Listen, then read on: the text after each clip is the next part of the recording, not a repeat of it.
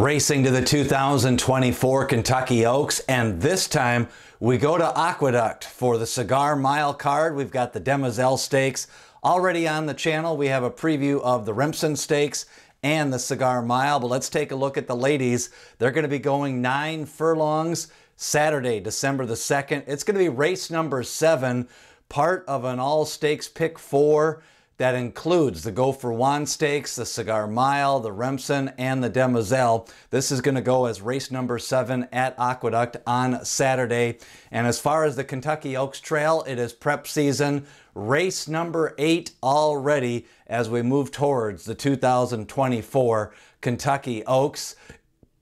It did draw a field of nine horses. Let's take a look at them Starting off with post position number one, we've got Cozy Rags, a big win a couple of races ago, 88 to 1 at Keeneland. That was in her debut race. Came back and ran third in allowance race. The daughter of Union Rags out of a Cozzene mare. A lot of turf breeding in this pedigree. Yet to run on the turf, does draw the inside and comes from off the pace. Dolomite was dynamite in that last win, sixth length win. A daughter of Unified, who was by Candy Ride. Manny Franco stays in the irons. Chad Brown trains a 59 Beyer speed figure, winning as the favorite at 40 cents on the dollar last time out. Life Talk comes out of a couple of grade one races, ran third in the Frizette Stakes to Just FYI, ran fourth to Just FYI in the Breeders' Cup Juvenile, turns around after running in the Breeders' Cup and ships back to New York for the Demoiselle Stakes. Most of all, Godolphin Blue, a big win last time out, won by 10 lengths in her third lifetime start. That was coming off the turf, going back to the dirt. The daughter of Quality Road, out of a Bernardini mare, most of all may have some upside. Vino Rug, first crop of Vino Rosso, gets the blinkers on. Second last time out in the Tempted Stakes to Shimmering Allure. Then you've got Caress, the daughter of Connect, winner in her first start at Aqueduct, ran in a stakes race at Laurel and uh, last time out, gets Javier Castellano in. Then the most experienced horse is Shimmering Allure. Big win last out in the Tempted Stakes. That was for Ken McPeek. A little bit of a drop in class in that one after running fourth in the Alcibiades Stakes to Candied. Shimmering Allure, a closer for Ken McPeek. Ringy Dingy, Danny Gargan, the trainer, a six-length win last time out at Delaware. That was in a minor stakes race, has won back-to-back races after running fifth in her debut after pressing the pace at Saratoga. Seems to do her best running coming just off the pace.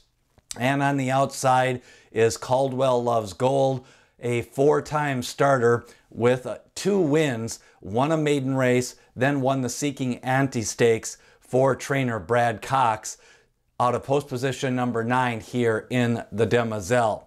So some winners, we've got some horses shipping back from the Breeders' Cup in Life Talk. You've got most of all a 10-length winner, a 6-length win for Dolomite, and then Shimmering Allure, a stakes win, and also uh, a couple of shippers from Laurel Park. I think the top contenders on the betting board, well, I think Life Talk will get some play based off that running twice against Just FYI.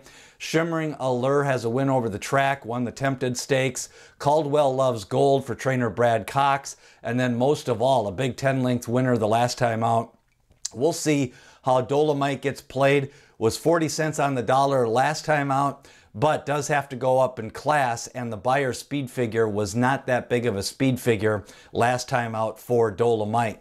Let's take a look at how they got here starting off with Shimmering Allure. Let's go back to the Tempted Stakes, last race out. Comes from off the pace, picks up the big win, draws away down the stretch. An off the pace winner for Ken McPeek was fourth in the El Alcibiades, six lifetime starts for Shimmering Allure as she comes here into the Demoiselle Stakes.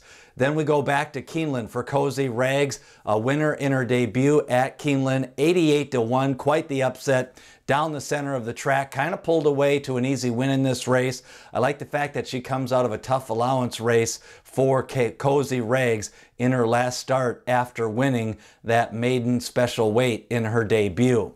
Life Talk, of course, lost to Jeff just FYI in the Breeders' Cup. Let's go back to the big maiden win. Draws off to the dominating victory. Was bet down in her first two races. Was kind of a price in the Breeders' Cup Juvenile. Life Talk, a quick turnaround after that Breeders' Cup race, but definitely has the speed figures to compete here in the Demoiselle. Then you've got Caldwell Loves Gold for trainer Brad Cox, a win in her second lifetime start in the Seeking the Ante Stakes. Then comes in off a couple of losses. I think Caldwell Loves Gold should like the distance. The outside draw is definitely one to consider for Caldwell Loves Gold. Then you've got Dolomite, a six length winner. The Beyer speed figure was a little bit lower that day, but drew off was bet down for Manny Franco. The sire is unified. I like him a little bit with some of these uh, lightly raced horses. And then second at Saratoga on the debut. Even though the Beyer speed figure went down, she did seem to improve. Dolomite, to me, definitely one of the contenders here in the Demoiselle Stakes. Lots of ways you can go in this race. Let's take a look at the pace. Overall, I think most of all could be on the lead. Maybe Life Talk is up there pressuring the pace and Dolomite. Caldwell Loves Gold, most likely going to sit in that second flight. Then your mid-pack runners, you've got Shimmering Allure, Vino Rogue, and Cozy Rags.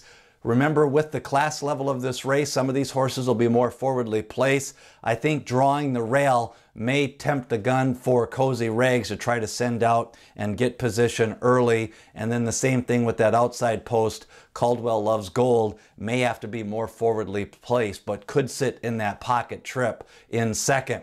My top selection in the Demoiselle Stakes is going to be Dolomite. I like that last win. Speed figures are a little bit low, but Chad Brown seems to get them up on the rise here on the class level. I'm going to play exactas over most of all. Cozy Rags and Caldwell Loves Gold with Dolomite on top and maybe using her in doubles in the Demoiselle Stakes.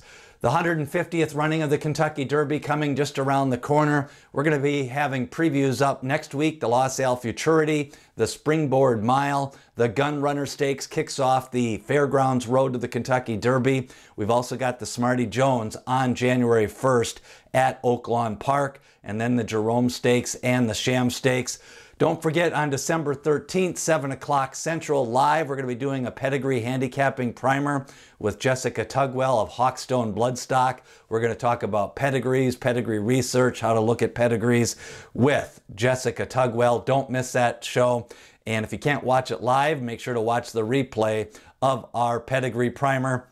Also, getting ready for the Triple Crown Prospectus 2024. Sign up at a link in the description below. 2,000 words every Monday. It's going to be free starting January in the Triple Crown Prospectus and the Kentucky Oaks Leaderboard. Who's going to join that leaderboard? Led right now by Just FYI and Candied and Vivi's Dream. We'll see who wins the Demoiselle Stakes here at Aqueduct. Who do you like in the Demoiselle? Leave a comment below. But remember, D. Wayne Lukas always says, People have opinions, horses have the facts.